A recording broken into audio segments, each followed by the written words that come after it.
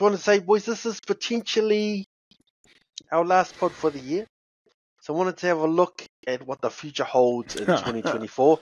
Because, you know, I put Joe on the spot. He came up with this great prediction, so I'll put you guys on the spot again. So, Rog, I'll come to you first because this one might be a bit close to your heart. But who will be the All Blacks captain in 2024? So, Sam Cane's going to hang around. But, you know, a new coach, uh, potentially new leaders. Who do you think will be the All Blacks captain uh, 2024? Or Sam Cane still hanging around? I think Sam Cane will still be there. So I'm I'm sort of divided. It's either going to be out of three players. Oh, come on. so either Scott Robertson goes with the tried and true and Sam Cane, or there's been a lot of noise about Ardie's ability to take over leadership, and he's captain a, a number of games now. So has Ardie become the captain? Or you look at the losses that we're making in our second row. And Brodie Retallick, and then the losses that we've had with uh, Sam Whitelock. Whitelock. Mm. So all of that experience. And who's the guy that's been able to split that uh, legendary pairing in the last few years? Scott Barrett. So that's my bolter there in that department. Scott Barrett and because of his versatility as a six, as we've seen in this Rugby World Cup, and even before that, for him, to be part of that injury room in, in the locking department, he will be definitely part of that leadership group for Scott Robertson, and whether he gets a nod ahead of the other two that I've mentioned. Ooh. Joy, mate, you got any thoughts? Who's going to be the All Black captain next year? New coach, Sam Cane still staying here. Unfortunately, um, I don't see Cane lasting through a whole Super Rugby season. I see him getting injured, possibly a head knock. And I'm sorry if you ever watched this, Sam. sorry, uh, it's just a just a prediction.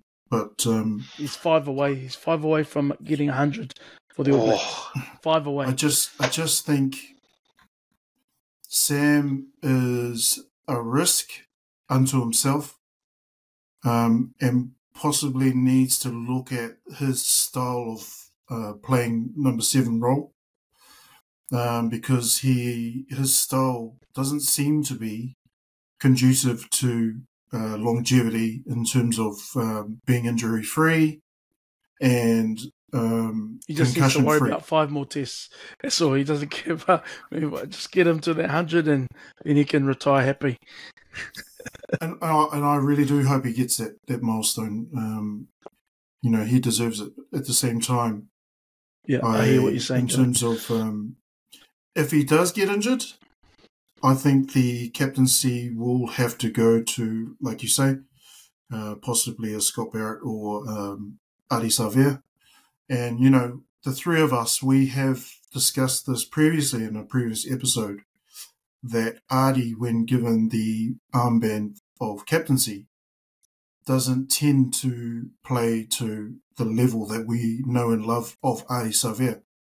So um, maybe Scott Barrett having the, the, the leadership role um, isn't such a bad thing for Ardie's game but if Ardie can prove that, yep, with the armband, his game doesn't lose out, or, you know, we don't lose out as fans seeing the Ardie Savea factor, then great. Give him the captaincy. But, you know, like, it like you said, Rog, it, it will be a toss up between, you know, Scott Barrett and Ardie if Sam isn't uh, physically available. Because it could be clear cut though, because with Scott Robertson coming in, he might not even have Sam Cane in his his first yeah. uh, selection. That's his right. first selection of All Blacks. So, mm. um, and so remember, there's no fairy tales in rugby. So, as much as we would love Sam Cane to get hundred, mm. he might not necessarily get there. We've yeah. got, um, you know, a lot of All Blacks have never won a Rugby World Cup. Nepo Laulala retires after 50 odd tests with two World Cups under his belt, no no World Cup championship. So yeah, no fairy tales and Mo'unga as well. no no World Cup titles either for him. Damn, So we'll have to come back and uh, play for Samoa and then we'll win one. but you Oh, know we're laughing, guys. We're laughing, guys. but it's, I would accept quarterfinals. That would be an amazing achievement. can they can Samoa just at least get like a a few more tier one games in between World Cups? They'll be happy. Mm, Yeah, yeah, true. That's Yeah. another discussion. But you know, um, yeah, And at least 50% of gate takings.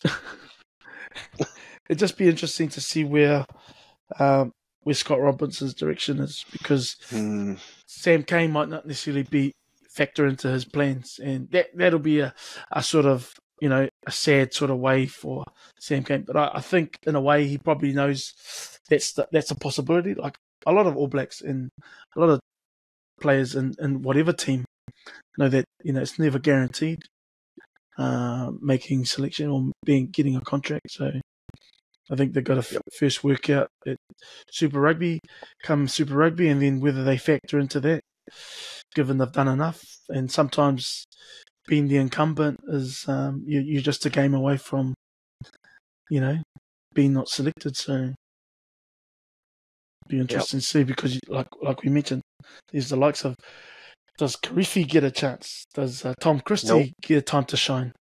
You know, so there's a couple of, and then you've got uh, Highlanders, Dalton.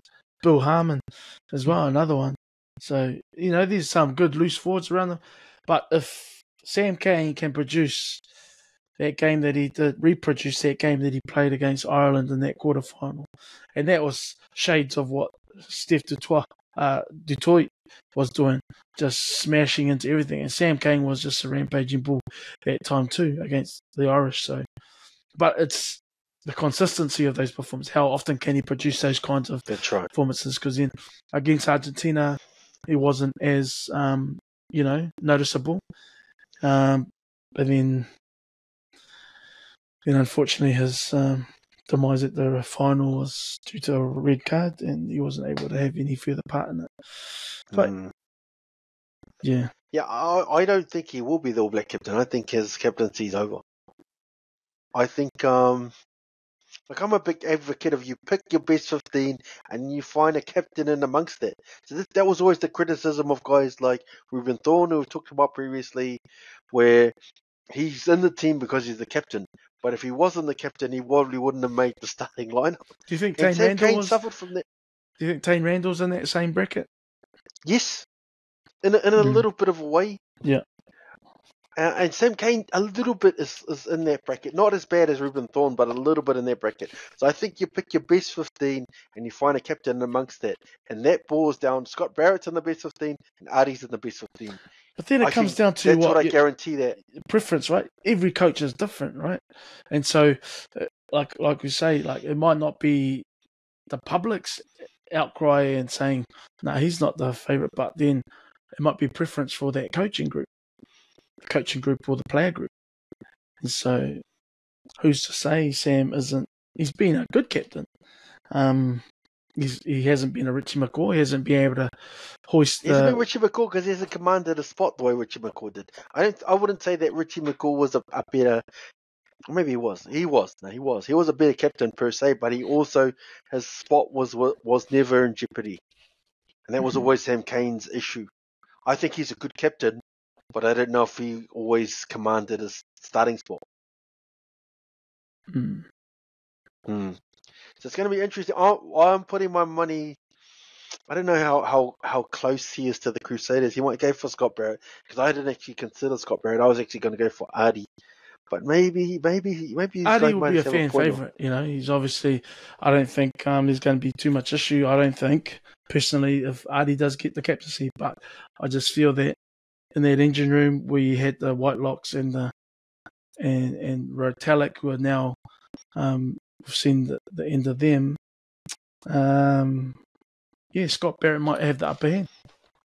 Mm, mm. And I think Joy, your your point earlier about you know sometimes the captaincy does uh, affect them, so uh, that could be a factor. Um, Hmm. We'll see how that goes.